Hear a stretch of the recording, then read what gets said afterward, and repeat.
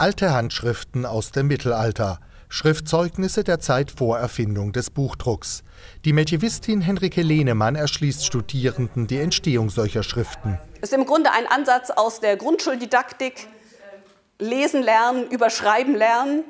So werden wir also versuchen, mittelalterliche deutsche Texte aus den Handschriften lesen zu lernen, indem jeder der Studierenden sich seine eigene Handschrift herstellt. Zum Schreiben muss man zunächst eine Feder herrichten und zuspitzen. Pergament oder Papier vernäht man zu einem Büchlein. Papier war im Mittelalter holzfrei. Man schrieb auf sogenanntes Büttenpapier.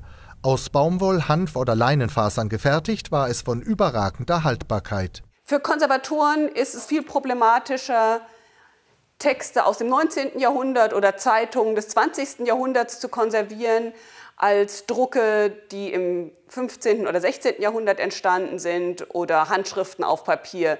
Die haben eine viel längere Halbwertzeit als äh, holzbasiertes Zeitungspapier von 2010. Die Universitätsbibliothek in Freiburg hat aus einer Privatsammlung viele alte Handschriften erworben. Henrike Lehnemann interessieren vor allem religiöse Texte für unterschiedliche Einsatzzwecke.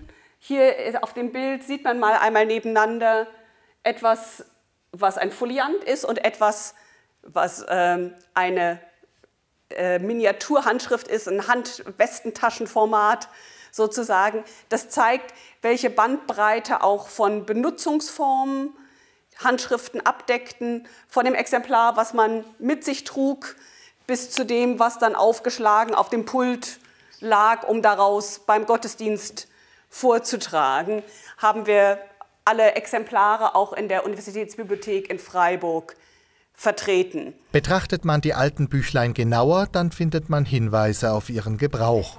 An manchen Stellen ist das Papier abgegriffen. Dort wurde vermutlich häufiger gelesen. Handschriften waren jahrtausendelang das einzige Medium, Informationen unverändert weitergeben zu können. Als die Medienwelt sich veränderte, behielten sie ihre Wichtigkeit, wenn auch auf andere Weise. Gerade nachdem der Buchdruck als alternatives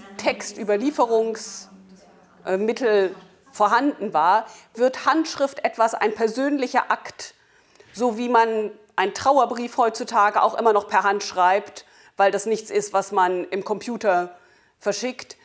Äh, so wird im späten 15. Jahrhundert eine Schrift, Handschrift schreiben ein Akt der persönlichen Frömmigkeit oder der persönlichen Aneignung des Textes. Das Seminar hat heute sehr viel Spaß gemacht und es war auch sehr interessant, sich mal mit Originalen auseinanderzusetzen, weil man das bei Kopien oder im Internet nicht ganz so gut nachvollziehen kann, besonders wenn es halt ums Material geht.